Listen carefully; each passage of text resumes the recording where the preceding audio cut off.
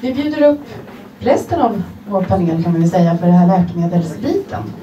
Det är Kristina Rudén från Stockholms universitet, professor i regulatorisk ekotoxikologi.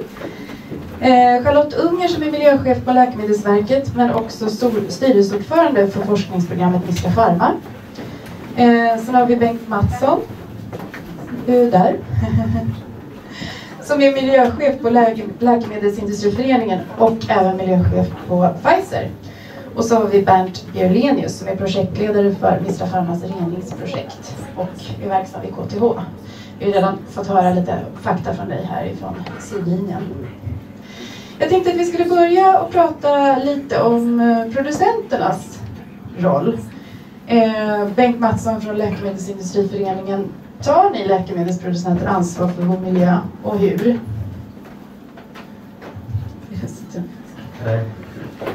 Eh, ja, det tycker jag att vi gör. Sen kan man ju, eh, man tänker på vad, vad, vad Jerker precis har, har berättat för oss att, att eh, tydligen så, så, så har inte vi alternativt då våra samarbetspartner och andra aktörer eh, hanterat problemet fullt ut. Men, men eh, det, det, är väl mer eller mindre självklart att, att vi, vi, vi vidtar en massa åtgärder för att minimera eh, den miljöpåverkan som finns. Men det finns enormt mycket mer kvar att göra. Och, Vad kan ni göra för att minska miljöeffekterna av era Ja, ett, ett, om, vi, om vi börjar, börjar någonstans längst bak i kedjan. Och, och, ni avslutade med en diskussion om, om produktionens eventuella påverkan. Och det är naturligtvis ur mitt perspektiv fullständigt oacceptabelt att, att det släpps ut antingen direkt ifrån fabriken orenat avlopp som, som, eh, som medför miljöpåverkan alternativt då via någon form av, av reningsverk som inte gör det jobbet som, som, eh, som förväntas. Och, och eh, där måste ju vi som industrier antingen då i våra så att säga, egna fabriker som vi själva äger säkerställa att det där inte händer. Men också naturligtvis med de, de fabriker som levererar till oss. Ställa hårdare krav, eh, revidera, reinspektera vilket ord vi nu använder. Mycket bättre säkerställa den teknik som faktiskt finns idag används eh, ut i hela så att säga, Så där finns det, finns det bevisligen mycket mer att göra. Eh, jag tror vi också har en väldigt viktig roll i arbetet med att, att eh, sprida kunskap och information om läkemedel och läkemedelssubstanserna. I och med att det är vi som har tagit fram dem så är det vanligtvis så att vi, vi, eh, vi har mycket kunskap om dem. Och där har vi historiskt, tycker jag, varit, varit, eh, varit dåliga. Vi har eh, inte velat släppa ut eh, all information eh, publikt. Eh, där har vi blivit allt, allt bättre och, och, mycket mer samverkan mellan oss och akademi och annat för att ja, ännu bättre så att säga eh, beskriva och ta fram, ta fram de data som behövs. Skulle du säga att det är stora skillnader mellan olika läkemedelsföretag och mellan olika delar i världen när det gäller just hur, hur seriöst man tar miljöproblematik? Eh, det, det, är alltid, det är så lätt att bli raljant och jag försöker alltid försöka undvika det. Jag, jag vill inte att vi hamnar i en diskussion om, om liksom västvärlden kontra, kontra utvecklingsvärlden på något sätt och, och att alla skulle helt plötsligt tro att, att eh, om vi bara producerar läkemedel här i Sverige så blir allting kanon liksom, och någon slags närproducerade läkemedel skulle vara bättre. Eh, så är det absolut inte. Men jag tycker det var bra att, att Jerker också var tydlig med att det finns även eh, typ i New Jersey som, som nästan är liksom hjärtat utav, utav den globala läkemedelsindustrin i New Jersey. Att det även finns problem där. Eh, och det är heller inte så att jag vill att, att man, vilket ibland jag tycker debatten kan, kan hamna i, att, att den forskande läkemedelsindustrin, ja, vi är säkert bra, liksom, men, men generikaindustrin, alltså de som gör lågpriskopior men du kan se skillnader även om det som i, all, som, i, som, i alla, som i alla, jag brukar säga så här, som i alla andra verksamheter så finns det, så finns det naturligtvis aktörer som, som tar genvägar.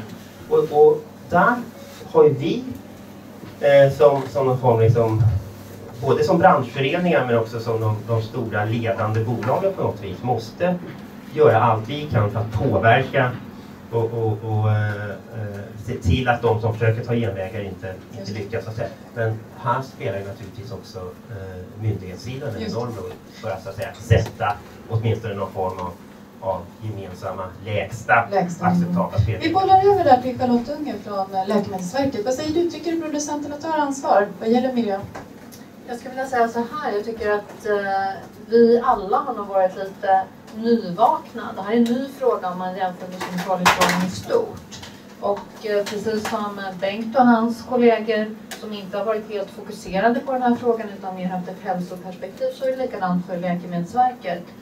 Sen kan man väl ändå säga, ehm, kanske lite tvärt emot vad, vad Bengt säger här, jämför jag Läkemedelsverket i Sverige med andra läkemedelsmyndigheter så ligger vi betydligt längre fram.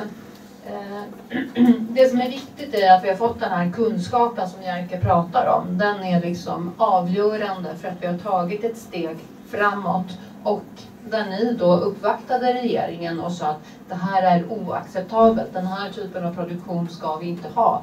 Och där har ju verkligen industrin tagit sitt ansvar. Har ni varit för slappa från Läkemedelsverket tidigare tycker du? Jag tycker att vi har varit för, för fokuserade på hälsan och inte gjort kopplingen att vi ska ju värna om en god folk och djurhälsa.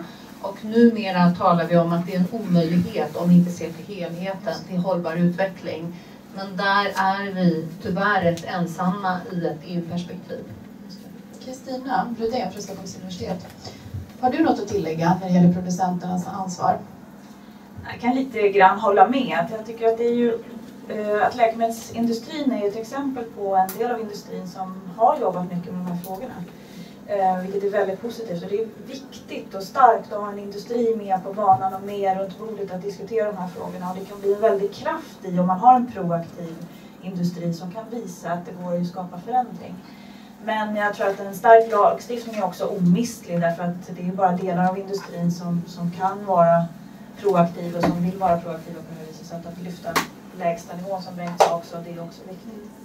Jag tänkte på ett initiativ som ni har tagit från Läkemedelsindustriföreningen.